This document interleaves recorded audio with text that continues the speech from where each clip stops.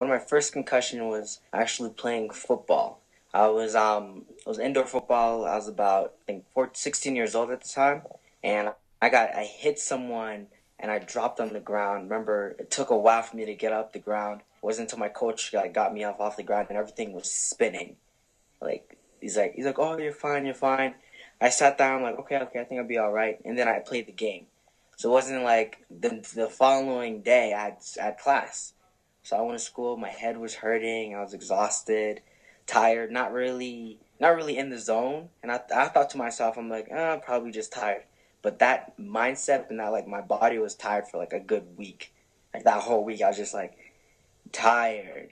Like I, I wasn't paying attention. It was hard for me to focus. I had my, I had my my head on the desk all the time. So yeah, I think that was. I think that was like one of my first bad concussions when I first playing football.